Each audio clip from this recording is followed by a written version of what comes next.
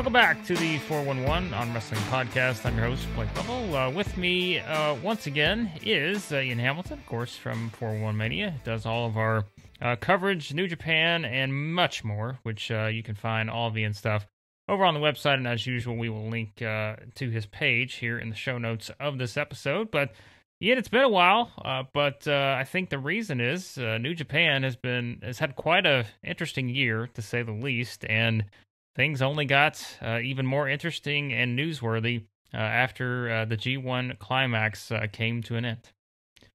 Yeah, I mean, the theme of this year's G1 is max for max, but not. But New Japan this year just seems to be thoroughly snake bit.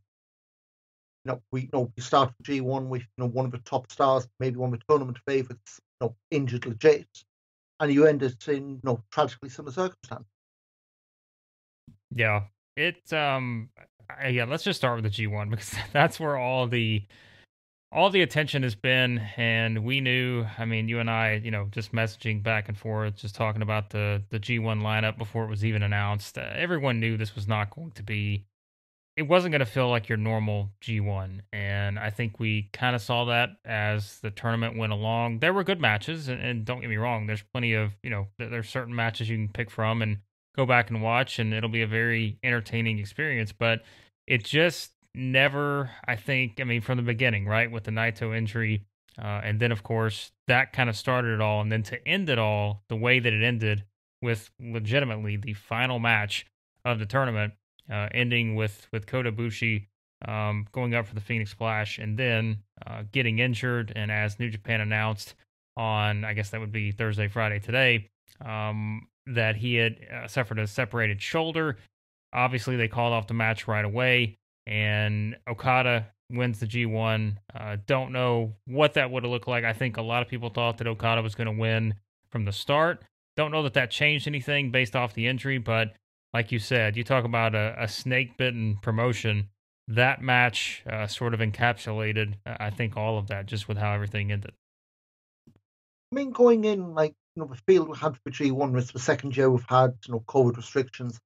We knew that the field wasn't going to be anywhere near the strongest we would see. I mean, you had like Tomohiro Ishii, he was over, uh, sorry, Tomohiro was doing strong, but he wasn't, he wasn't part of G1, but you had like Minoru Suzuki, Jay White, uh, Will Ospreay, they were all you know, completely gone from you know, G1 contention. And you know, people you know calling maybe get um, you know some of the you know someone from outside of New Japan bring put some juniors in. Now that happened, and you ended up with G1, which was good, but the problem is when you've had you know, 31 of them, it's a big problem is a lot of people compared to G1s of old. I mean, only what, five, six years ago, you had the Kenny Omega, a Kazuchika Okada G1? This you know, pales comparison. Not in a good way either. Right. No, it it didn't, and I mean, I guess you know you always you review all of these for the site, and I know we've talked or going back to last year, you know, just kind of looking at it was it felt like it was much different, but now, like as you look back, um, you know, before we get into all the other stuff, I think to me, if you if you try to find the positives of this G1, I think, and it's kind of ironic because one of the things you and I talked about, you know, I guess a year or so ago now was about Jeff Cobb and where things stood for him in New Japan, and I think there was always that notion that there was there was more, like you could get more out of him, whether that's from New Japan side, whether that was from Jeff Cobb's side. It just felt like there was much more to be accomplished for him, and I thought without question, you know, all the way building up to to the final uh, there in the block with with him and Okada I just thought this was sort of that shining moment, which we've seen from Jeff Cobb, I think, over this year or so now, as we've started to see him uh, kind of, you know, evolve into who he is now. But I just thought this was a very, uh, very good showing from Jeff Cobb. And it's clear now, I think, even though, you know, they didn't go all the way here, but for him to run through the block like he did before Okada, um, it's clear that New Japan at least has uh, clearly some confidence in him at this point. And I mean, sometimes the obvious story is the best one. You know, we had know, Cobb and Okada, you know, they have two matches pretty quick on top of each other this year.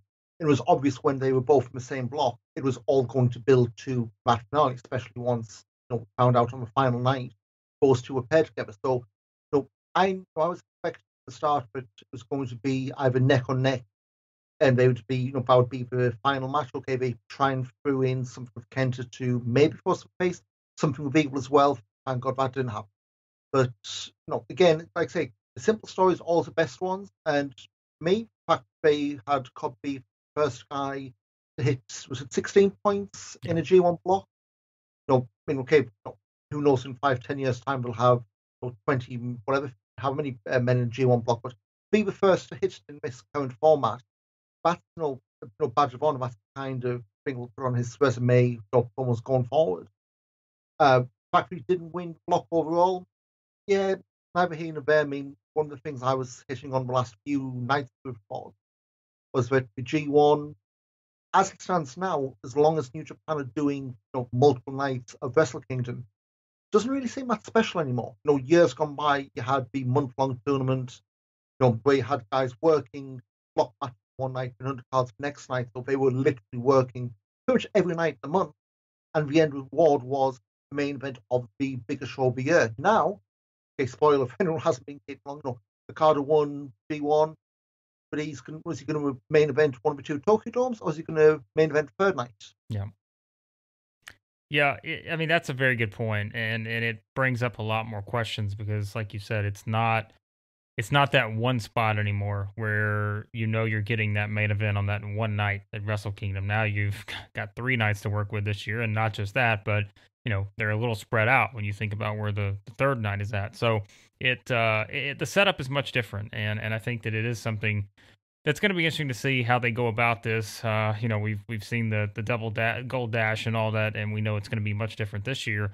Uh, but you know, some of the other highlights, and then we will get to the, I guess the second maybe or probably the biggest, most uh, newsworthy item coming out of just the G1 Climax final itself um, in a second. But when we look at the the tournament as a whole, I think Zack Sabre Jr. was someone else, of course, got off to a great start. Um, I think that you know a lot of people were hoping that perhaps you know, some people were making that push. Maybe he gets that opportunity. I, didn't never really thought that they were going to go that direction. I guess even with such a hot start, you always felt like that Ibushi was probably going to have a good chance. Um, you know, there was always the option, I suppose, of having Shingo win and doing that story, you know, as the champion and all that. But I mean, Zach Sabre Jr. here, it just we know what we're getting. We've talked about him before. I mean, you you know what you're getting out of him. You're going to get consistency.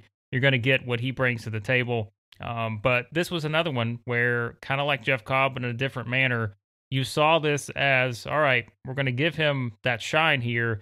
Uh, and then, you know, I guess we can go ahead and transition into uh, the big sort of spot that he was put into uh, in terms of the uh, return of Shibata, who comes back for the five minute exhibition and just shocks everyone. Um, that was quite a moment, but I guess we can kind of tie those two in together uh, when you talk about Zack Sabre Jr., what he did in this G1 and the return of Shibata. Yeah, so with Sabre, my uh, big expectation, nothing as, as much in a preview, my expectation of him and Taichi were to you know, from trade wins and losses, so maybe past fight, you know, 500, maybe a little bit over, and set up you know, tag title challenge with Taichi, you know, that kind of happened towards the end. Uh, with Sabre, all things, obviously there was clearly something they knew going in with uh, Naito with the injury. Um, they parlayed that into him going on that hot streak. But yeah, he was always one of those in my mind. As long as as long as he was tag champion, there was no way he was going to go the whole distance. As much as I you know, wanted to you you know, cheer him on, be the first Brit to you know, win the G1. I think the problem with with Sabre in the sense well is he's been you know, in those pre-show promos, he's been tag guy for how many years now? Yeah. And New Japan don't just pluck somebody out and say, "Oh, hey, uh, tag champion, you're now main eventing the you know, one of our biggest shows of the year." You know, it was a nice uh, fantasy, but I think you know, looking where we are now, you know, October twenty second, you know, now realist uh, glasses on, that was never going to happen. I mean, yeah, great if you know they lose tag championships, you know, whenever, and push ahead for maybe twenty twenty two even could end up being part of that main event scene. But you also got to remember, you know, it's New Japan. They you know, 18 months of pandemic where they could have tried new people on top. Um, Sabre's only just started to flirt that mix, just things are starting to improve. Um, I don't want to say maybe the best going to be for him in terms of you know, New Japan's uh, singles rank, but you know, it's a hell of a time anyway. Yeah, it is, and, and I mean, it's just like you said. It it, it's a very interesting dynamic because you mentioned like when you have a guy that goes from being in the tag spot and being slotted there, especially I think in New Japan. Whereas you know when we compare it to other promotions, we know how quickly that can turn. But I think it, it is something that it takes much longer maybe for them to push it in that direction rather than just taking them right away from that tag. So all right, we're going to just push you all the way to the top that is that is not something we've seen very often, and uh, I do think that's a that's a very good point on that. And then, like we said, in terms of uh, Zack, he was in that spot with Shibata, who makes the return. I mean, you talk about the the emotions, and I think the commentary was a great part of that. Of course, you know, for me, listening to the, the English commentary with with Kevin Kelly and Chris Charlton, and just to, I mean, just to hear know that that actual genuine reaction to people that are just completely surprised by this because again i don't know how any of us would have went into this thinking that we were going to get this scenario that played out with shibata coming in. They do the five minute exhibition uh, with zack. And i mean what a moment because i mean of course everyone probably listening to this if you have interest in new japan and the g1 and such you know how significant shibata's injury was and for him now, we don't know exactly what the future is going to look like. We don't know, you know, when that match, if that match, any of that. But to actually see this play out the way that it did, and we were talking about sort of that spark that New Japan needed, they got it with this. Unfortunately, as we know later in the night, uh, things would change with the Ibushi injury, but um, this was this was one of those moments that you're you're not really going to forget, just based on the whole entire story uh, that built up to this here. I mean, you think, you know, four years ago, be you know, G1 Climax 27, you know, literally months after that injury you know, with on Michelle, came back out during the interval. You know, this was kind of mirroring that. You know, second half final started, you know, Sabre coming out. Uh, very conspicuous perhaps on the card. I know they kind of pushed away well. Taichi's, you know, uh, taking time off. You know, Suzuki wasn't on the card. You know, Suzuki's still in America. So really, if Sabre's going to be booked on the finals, was either going to be in the final, which obviously out the window or the spotlight race. Um, yeah, I mean, nobody, absolutely nobody would have expected uh, Shibata coming out, even to do commentary. I would say, like, there's no hints or anything like that. And from all reports I've seen, it seems to be one of those things where he'd been lobbying for ages. Uh, it seemed to be very much a you know, 11th hour decision kind of thing. Um, the fact that he came out, he was literally doing you know, nothing but grappling. I think there was you know, uh, Chris Charlton you know, said originally UWF rules correct himself uh, grappling rules. But yeah, I mean, just the fact that Shibata's in the ring, you know, taking comes, he was definitely trying to prove somebody that look, he can still go. Now, the big difference between doing a five minute you know, grappling spectacular and you know, the matches that we saw from him, you know, five, six years ago. Um, personally, you know, if he, you know, if he comes in just doing like these grappling exhibitions, yeah, it'll get old, but at the same time, I know not be a you know, central or anything like that. But I think with Shibata, fact he needed surgery just to stay alive. Yeah. So this isn't a, oh, always know, one more bad bump, he's paralyzed kind of deal. In fact, he needed you know, you know major surgery to stay alive. I'd want to see maybe ease a little bit slowly. I mean, even if it's just these you know, grappling exhibitions, maybe oh, always been hit in the head, you know, he's taking a bad bump, that kind of thing. But I do know that with this, it's not going to be a situation where they're going to let him in and know, take kind of um, kind of stuff he used to do. One, they're not going to allow that. Two, I think as well. Bearing in mind, you know, we had you know just on the same show, you know, Bushi, you know, getting seriously injured, you know, you know, derailing the whole the whole tournament in the end of the way they wanted to do it. I don't think they want to play with fire with that. But you know, again, I don't New Japan's desperate, but you know, looking some their attendances during this tournament, you know, could be one of these things. You know, desperate people do desperate things. Yeah, and you know, one of the things that I know we've talked about it before in terms of like people talk about the guys who come back from these career-ending injuries, like the guys that you don't ever really imagine that are going to come back and, and wrestle again. And I guess if we use you know the North American versions of obviously there's there's guys like Edge and, and Bryan Danielson and kind of what they came back from with neck, you know, concussion issues, those types of things. And, you know, when you look at this, you said it. I mean, we're talking, and this is not to certainly downplay any injuries of any of the other guys, but we're talking about a situation where like it was a emergency sort of scenario that played out with Shibata. And we know now, especially in this era, uh, which is obviously a great thing based on where it used to be. Um, you know, and, and just kind of look at anything with the head, neck, anything like that. Like that is just something that I don't know. Like even the Ibushi thing, I thought about this when it happened. Was like, isn't it? It's so wild to me that more of that doesn't happen. Like we see it happen, and and again, maybe it's just because it's a G1 final, and you're thinking, well, this isn't going to happen, you know, in this magnitude of a match. But it is incredible how thin that line is when it comes to these types of injuries and things that can end your career or you know keep you out for six months, a year, or whatever. Um, and I know that's kind of a, a long roundabout round, roundabout way to get back to Shibata, but it's like these are some of those things that that is like that line is so thin because we are talking about a physical, you know, competition here that involves a lot of very sort of strategic maneuvers that one wrong thing, as we've seen again with all the guys we mentioned, that have had these types of just significant injuries. Obviously, Shibata's was taken to a different level, um, but it is incredible that when you think about that, that my goodness, for guys who can come back and be able to perhaps you know get back on that road to having these matches or getting back into things the way that perhaps a Shibata does, like we've seen an Edge and, and Danielson do. Um, and then we talk about the Ibushi injury, like it's still wrestling, right? Like it's not. I mean, we everybody laughs about the whole you know wrestling's fake thing and all that over the years, but it's like this is still wrestling, and these things happen, and um, you're just not going to take any chances with that kind of stuff, especially in this era. And I think as well, like you know, we've seen with Shibata, you know, they were really you know not punched to do. I mean, the fact that they, you know, they sent him over to LA to head up the LA dojo, that was maybe Simon Bowers as much as they willing to let him test the waters. Like, look, you're, if you're going to train people, yeah, you're going to you know, be involved in some physicality, but at the same point, you know, if your job is training these guys, you aren't going to do anything which is going to incapacitate yourself. Um, you know, just for, you know, just for sake of you know, showing that you're you know mentally ready, that kind of thing. Um, I do think that the big issue that you're going to have with you know, if they do um, bring him back on this, is you know, how how do you weave this any kind of storyline? I mean, you ever had the Kenta stuff a few years back, which you know seemed to get dropped really quickly once they you know kind of figured out he wasn't getting cleared. Yeah. But even then, it's like, what? You know, bear in mind they were very careful that those five minutes was just dropping, no bumps.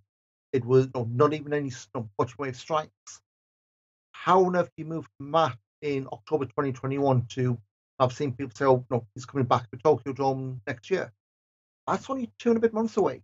Yeah. You know, unless they've deliberately, you know, played, you know, played uh, a bit slow, you know, let him, you know, give the impression he's only capable of going, to say, you know, you know, two out of ten when he's really capable of it, nine or ten or what have you.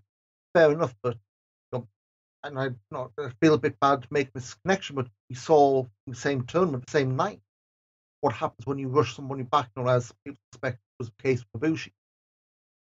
Well, and it sets up, and I know we kind of talked about this a minute ago. You talk about Tokyo Dome and Wrestle Kingdom, and obviously we have the three nights now, and it makes it much harder, I think, to predict the direction you're going in. But I mean, the way that we look at this now, knowing that it is, and, and you just said it, like it's it's not that far away. Like it is almost the end of October. Like we are not that far away from Wrestle Kingdom, and knowing that Ibushi, I mean, a separated shoulder, I haven't looked it up. I can't think off the top of my head how long that that maybe keeps someone out. Um, but again, yeah. So I mean, you know, it's kind of one of those things. But like you said, like you're still, you felt like you rushed, maybe perhaps rushed this guy back in the first place, and um, see, it's just I think about all the scenarios that could play out now, and it's like, well, where do they, where do they go from here? I mean, we know Okada, we know the setup there. Um, I mean, obviously, you know, you've got Shingo as the champion. You've still got Ospreay out there, which I assume will probably factor into this in some way, shape, or form. Um, we talked about the Ibushi injury. I, there's a lot of possible scenarios, and I guess that you know they will have their pick of what to do, but it is much more of a cloudy picture, I think, just based on how we've seen things play out over the last month or so, uh, heading into those three nights at Wrestle Kingdom. Yeah, I mean, no, know, we kind of talk on the Ibushi stuff, so know, the injury event, main event, well, he was the main event, went for Phoenix Splash, Splash landed, heavily in his arms and wrists.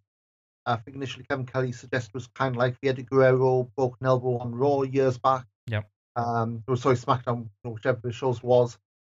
Um, you know, said now it's been a dislocated shoulder, which you know, kind of explains why Bushi wanted to you know pop it back in. Apparently, had the same injury in the 2010 Best of Super Juniors final, which you know, again they came back next year and won it. But I suppose that's the kind of thing with any kind of wrestler. You know, there's that mentality of you know, the show must go on, even to the point where you are literally wrestling with you know, one arm. Um, I mean, I'm glad that it's I say just a dislocation. I mean, being broken arm or broken wrist or whatever. And what worse, it could have been a lot more serious. I think in terms of where you can go now with it, I think you've just got to bite the bullet say not any part of wrestling because we saw with this with uh, we had the was it the um, aspiration pneumonia. We know but ruled him out of the uh, not met with July Tokyo Dome shows, but yeah, one of the July shows. Um, from that completely scratched the match with Shingo. And he came back you know, a week or two before the G1 started. Yeah. And even then, I remember you know, folks, uh, Mark Buckeldy from does who's been doing coverage Post saying he didn't look 100%. Like that match, I think with uh, Tanahashi went like 15, 16 minutes in the main event when you know you expect New Japan main events, federal worse of being you know, touching the half hour mark more often than not. Um, yeah, I mean, first few matches he I don't want to say he looked out of shape, I mean, far from it, but definitely there was a you know, spot where you could tell there was an edge missing, and you know, towards the end of the tournament, was getting it back. But at the same time, you know, when you've been out for not looking now to his uh, cage match, um, his last match against uh, Yota before he went off to England in July, two months back, uh, MetLife Dome against uh, Tanahashi, and then from the 4th September to now, 12 singles match, uh, 11 singles match. So that's a lot for someone who's been out for two months, you know, with, you know, basically, yeah, not pneumonia, to have said. Yeah. And it's like, you've got someone who's used to going full pelt and in the gym, in not the shape he's in, you know, by accident, and then taking two months off enforced.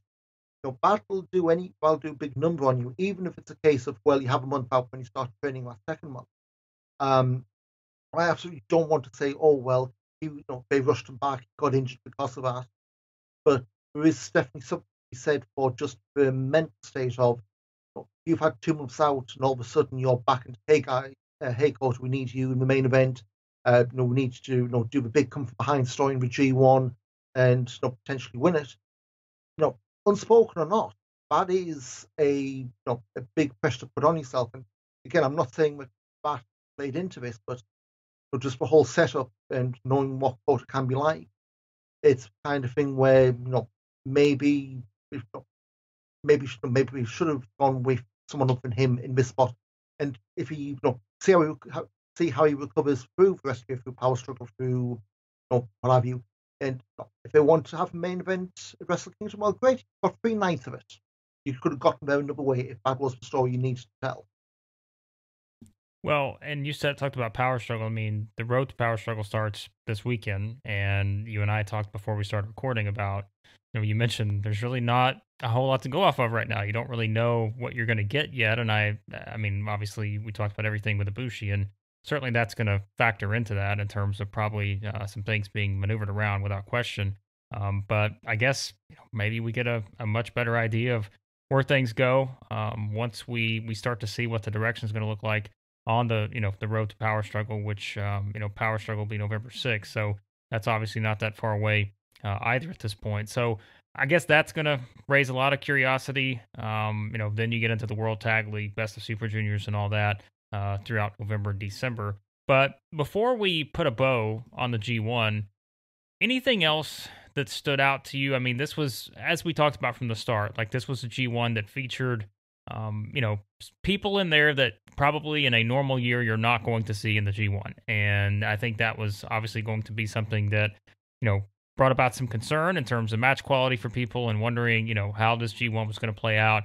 Um, you know, and this is for me, like it's not knocking any of these people. It's just in a normal G1, you're probably not necessarily going to see uh, some of the lineup here, whether it was Chase Owens, you know, whether it's Tama Tonga, Tanga Loa, um, you know, those types of people anything to you that maybe stood out or, or maybe pleasant surprises, uh, disappointments uh, of anyone else maybe outside of that top tier that we've talked about? Um, yeah, I mean, like say the guys you mentioned, I mean, I would say definitely G one, while highs may not have been as high, but lows definitely weren't as low. Yeah. Like you know, when you, you know, think, you think of like Chase Owens, you know, Yujiro Takahashi, with Guerrilla's Destiny, you may think, oh, you're gonna have I don't say duds, but you know, you're not going to have a great matches. And I genuinely cannot think of that many stinkers in this tournament. You know, the stinkers we had maybe the Toru Yano match where you had you know, the five minute comedy act that stretched out beyond 10 minutes because guess what? We need to pad these cards out. But um, I would say nobody on these tournaments, or at least their overall performance, I don't think anybody made uh, no, a clown of himself. Uh, but again, when you know, when like I say, when you look at potentially next year, if Japan opens up, if they start issuing visas and you start getting more of a fuller strength roster, potentially know extraditions. I mean, people talking about you know Forbidden Door. Well, I know there's a few people you know kind of hoping Bryan Danielson is part of the field next year. If that can it all be possible? Um, yeah, you look at you know, guys who plugged gaps this year. I don't get any of them left themselves down. Um, do I think any of these guys would be able to parlay this into anything more substantial? Hell no. When you saw my final show, so Jeff Cobb, okay, maybe the injury of the taped up neck and shoulder played a part, but he went from being the first guy to 16 points to, you know, I almost froze him up for the opening tag match. You know, same again, you know, Chase Owens, okay, we've got um, Tanahashi and Kenta for the US title. You know, building up some Chase, possibly a new year with that. But do I see Tanga Loa and Tama Tonga going having any kind of singles run? Not really. So is Yujiro going to be anything more than you know, that annoying guy in the corner and just an entrance of people who you know, dubbed him? No, probably no more than that. Yeah. Um, so I think it's stuff New Japan's got in their back pocket, but I think in terms of single stuff and bigger picture, you've still got to remember they have, at the moment at least, that one big world title at the top. They don't have the old intercontinental title. The never title is currently on ice because Jay out of the country. You know, whether you want to read into I've heard visa issues or whatever you want to call it. Really, this company has one main singles heavyweight title, the junior heavyweight title, uh, two sets of tag titles, and I think you know, a lot of these guys who were probably more used to being tag wrestlers, that maybe where they go back down, especially now obviously we've got World Tag League in a couple of weeks' time. But yeah, I mean, it's certainly a lot of stuff that New Japan's got in the back pocket, but unfortunately, nothing actually ever being used in the immediate future. And again, you know, I think that's one of the big knocks on the product at the moment. You know, a lot of the guys the same spots they're in that, you know, the same spots have been in for ages. Like, you know, Ibushi Okada, you know, they were know, the main event. Know, Shingo was very, very about the main event. But you've not seen really anybody being pushed up or you know, earned away, or some better word, from where they were. Yeah, we might have had a breakout G1, but both finals really pushed people back into their box they were in six weeks ago. You know, we haven't talked in a in a while, and this is a subject that people have talked about a lot. But I I just continue to be absolutely I don't even know what the right word is. I don't know if it's flabbergasted, but has there been anyone that has experienced such a change in reaction, momentum, direction? This evil stuff like I just I I think back and I'm just thinking over the past year or so now again everything kind of runs together I think based on last year uh, you kind of forget for me timeline wise when when things happen specifically but I just keep thinking about this evil stuff and I'm like what can they do at this point to turn this around because I I don't know that it's it's been a while Ian since I've seen one seen someone that has just with one wrong move, which obviously we can go back to where they made that move, um, when they decided to to do what they did, make the turn, and then to play it out the way that they have. I think with the the Bullet Club stuff, um, I just I cannot even imagine like how quickly things have gone in such an opposite direction for Evil, and and really even watching some of his matches in the G1, like I don't want to say that you know obviously that he's he's talented, but it's like all the stuff that comes along with it. Like I just I think back to where he was, and again, timeline wise, whatever it was, two years ago, um, year and a half, whatever. Um, and I think about where he is now in terms of the actual like the public reception to him and what people think, and it's just it's still just I just find it mesmerizing. when you think 15 months ago, you know, the big Bullet Club heel turn, he was double champion for a spell. You know, he you know, gave up uh, you know his share of those Never Trios titles. Now he's you know seemingly you know constantly staring at those things. Um, and to you know borrow something Prince Devitt said years ago, he better be Captain Fook in New Japan. yeah, that's the same kind of thing. Like he is. This is a guy who not too long ago was in main events. Now like okay, he's got his own you know, the House of Torture, which never's been a more apt name for a stable. but not a guy who you know, I don't want to say at any point he ever, you know, a big name within LIJ. He was always you know, when it was full strength. Naito, maybe Sanada, depending on you know, Sanada and uh, Hiromu, you know, two A, two B, if you want to go down that road. He was never a top Dynamite group. And the fact they plucked him from there and you know, head of a Bullet Club while everyone was out of the country. That was always a, a really, you know, for real? You serious, guys? Like, it was never something that was going to stick. And then the fact you, you know have him lumped in with, yeah, he's going to be our guy who gets heat. Yeah, well, Raw's been doing that for three years, and look how that's uh, reacted to it. Yeah. I just like I I think back to like I remember maybe this was like I want to say like 2019 maybe the 2019 G1 maybe um, and I'm just like, I can just think back to them because that was what, but when life was normal somewhat. Um, and I'm just like, you look the entrances, like you see all the stuff, and it's just like the people were so into um everything kind of surrounding him, and and some of the things, um, you know, he had good matches, and and again, I would have to go back to to look at some of that, but it's like to think how quickly things have turned for him. It's just um, it's it's something, and the more I think about it, I'm just like, wow that's the case of one wrong move and it can send you so far in the wrong direction. Meanwhile, if we take this on the positive spin uh, before we wrap up, I mean, Shingo, I think, is the, the opposite example. And I think that Shingo, you know, you and I have talked before, and, and I've always said, you know, I think that he's always, to me, been one of the best in the world just based on what he does. Like, you just, you know what you're getting out of Shingo. You're always going to get, I think, really good stuff. And now for him to I, I think in the perfect scenario, obviously you would have loved to see him, you know, get that big championship moment in a more normal time outside of maybe having to be the guy that's carried them through again what has just been quite a snake bitten uh, tenure here over the past year, year and a half, whatever. Um, almost, well, I guess, longer than that now, uh, going back to to March of last year. So it's just, I, I think with him, you know, as you look at his spot and where he is now, I mean, his title run again, you know you're going to get good matches out of him. Uh, I guess I'm most fascinated with Shingo now moving forward. What does that look like for him now as we do head towards Wrestle Kingdom? You know, he finishes behind Ibushi in, in A block, but it's still one of those where I, I love the direction they're still going in with him. I wish it was under better circumstances uh, with everything, but I am very curious about maybe the next direction for him uh, going into Wrestle Kingdom, knowing the type of challenges that he could face um, and, and all of that stuff uh, with Shingo moving forward. I mean, my big fear with Shingo, I mean, obviously with the New Japan Strong, and obviously he's been carried over on the shows in the UK as well. They're clearly building to Ospreay and Shingo to unify those belts. And assuming that Ospreay get back to Japan, again, I don't know visa issues or whatever, but assuming he gets back to Japan, I can see that being the one four main event. Yep. Um, Okada of the old V4, the old belt probably turned it into the Hey Draw the Winged Eagle from Your Imagination design. Um, I think Okada will be doing the uh, 1 5 main event. And unfortunately, I would not be stunned if we end up with Okada as the champion, bidding match, you know, the fake Wing, wing Eagle belt on 1 5. And then 1 7 1 8 the third night in uh, Yokohama. Who knows? I mean, at this point, you know, this is you know, purely uncharted territory. It's I think right now they've really been struggling to pad these big show cards out. Of course, add more matches on that's always going to help uh, guys. But yeah, I think Ospreay Shingo, one four.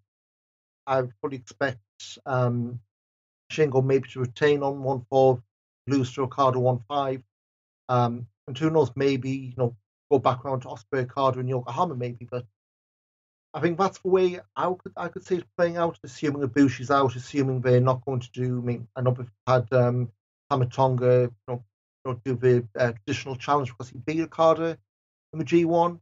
Um, I don't think they're going to lose their minds to the extent where you know, Tama Tonga wins. You know, don't be stupid.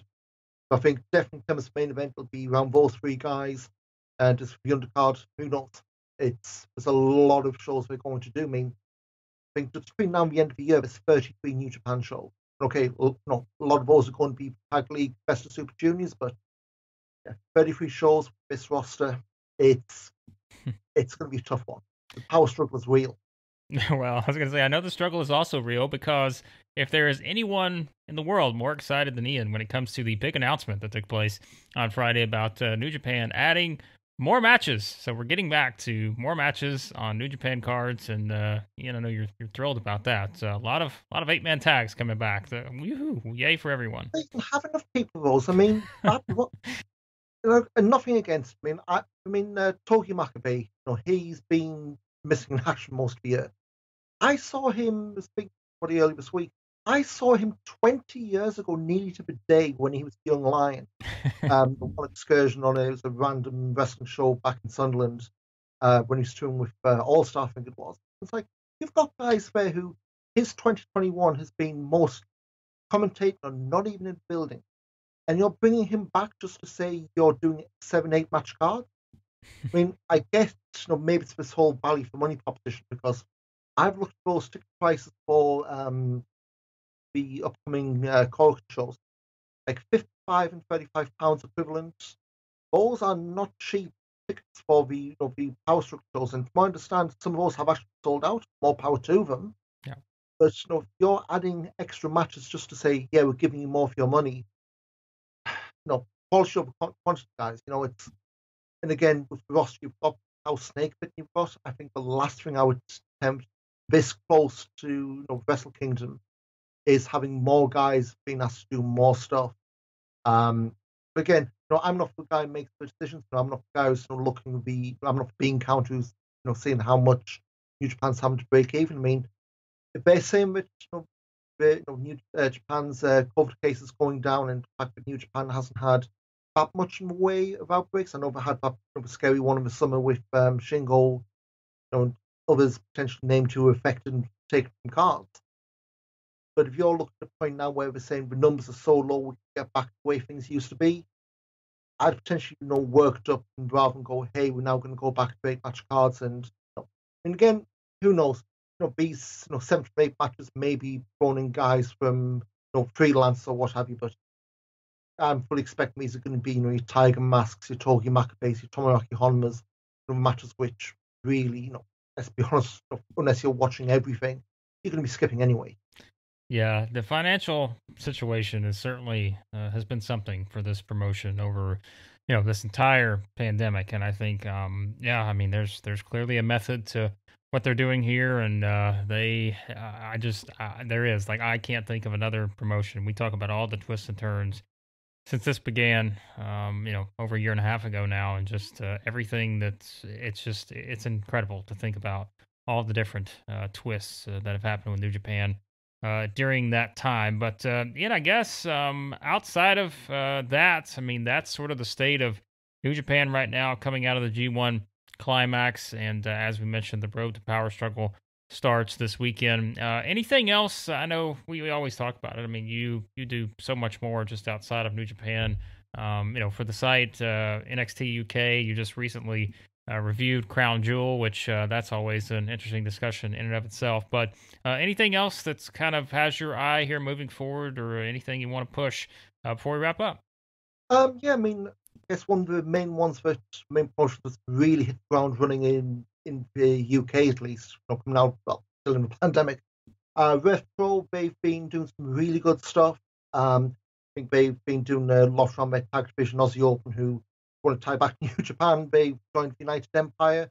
Uh, I don't expect, well, they won't be in World Tag League. Um, they're working Rev Pro show as the tour is going on. So, yeah, that's not going to be happening. But uh, Rev Pro, I think, since the big restart this summer, have really hit the ground running.